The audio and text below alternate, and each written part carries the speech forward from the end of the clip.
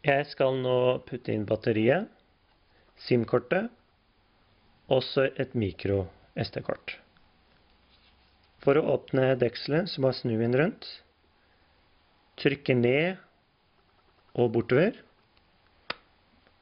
Trykk litt ned, så kommer det til punkt hvor det sier knepp. Da åpner det seg litt også her.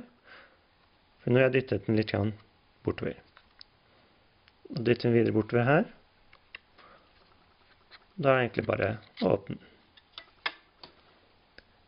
Da begynner jeg med SIM-kortet. Nede her er det en liten sånn hake.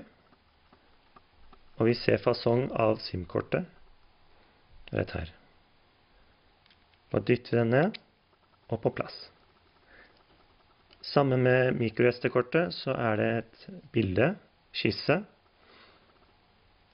Og da putter vi inn, som vi ser på samme måten, som vi ser i bildet.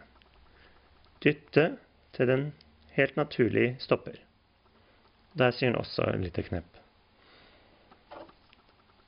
Og da setter vi plass batteriet, og da ser vi noen metallpunkter her, og noen metallpunkter rett der.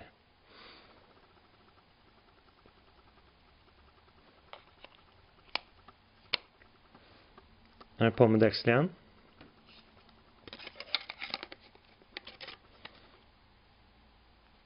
Så dytt den opp. Da ser den også knepp her, og da ser vi den er på plass. De forskjellige tingene med telefonen, dette her er da ladeplugg, men også dataplugg. Og den kan brukes til å plugge inn dette porten, og gå til USB-ledning enten til laderen eller en datamaskin. Her oppe er da av og på-knapp. Her er headset-plugg. Og her er da Der er da en liten høyttaler ørehøyttaler, kan man si. Her er da de fire knappene. Her er volum. Her er da kamera. Og det her er da, mener jeg, en eh, Jeg tror det er en liten høyttaler. Jeg husker ikke akkurat farten. Men nå slår vi på telefonen. Bare trykker jeg inn punktet på toppen her, holder inne, til den slår på.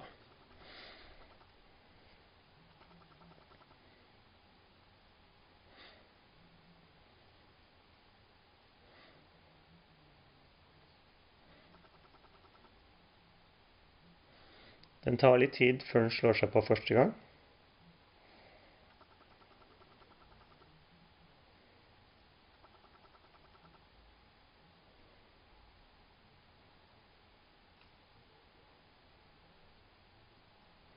Dette er første skjermen vi får opp. Nede i hjørnet her, så kan vi bytte språk. Da trykker jeg på Change Language. Og da er det jo bare å velge norsk. Eller et annet språk. Og da trykker vi på Androiden for å begynne. Og her nevner Enten kan man hoppe over her, jeg trykker på start for å begynne, og det gjør vi da. Og her ser du da en swipe-leksjon, og da er det egentlig bare å følge det som er der, hvis man har lyst til det. Jeg går tilbake, og da trykker jeg den pilen her. Da trykker jeg også på hopp over. Og her står det å sette opp Google-kontoen. Hvis du ikke har noe Google, kan du opprette en. Grunnen til å ha en Google-konto her er at eh, man kan oppdatere ting i forhold til det med Google-kontoen. Man kan overføre kontakter direkte til Google-kontoen. Og tror jeg også noen andre ting også. Jeg kan logge på, jeg har allerede Google-konto, eller så kan jeg sette opp kontoen senere. Det er opp til deg hva jeg vil gjøre. Jeg tar og gjør det senere, så da trykker jeg på hopp over. Her er sånn Google posisjonstjeneste.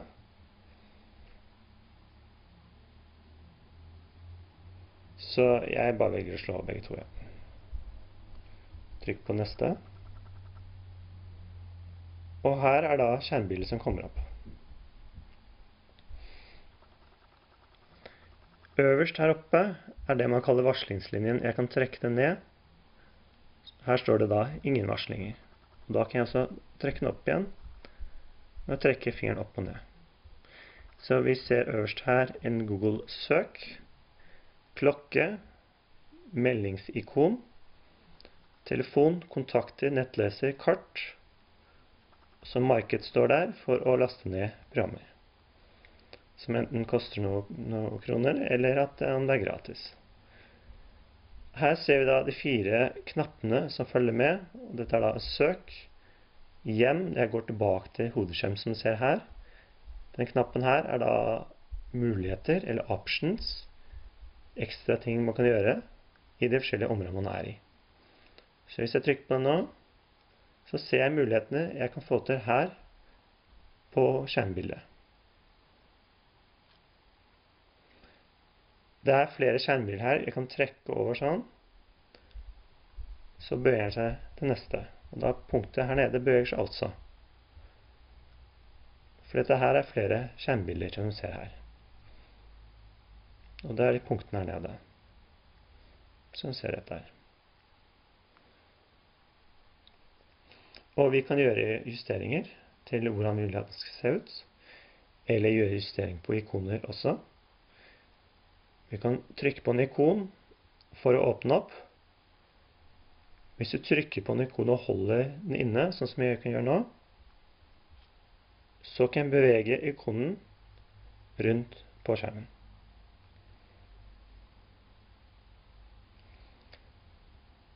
Så det første jeg kan tenke meg å gjøre nå, er å gå til en annen side, som er tom, og så se hva vi kan gjøre her.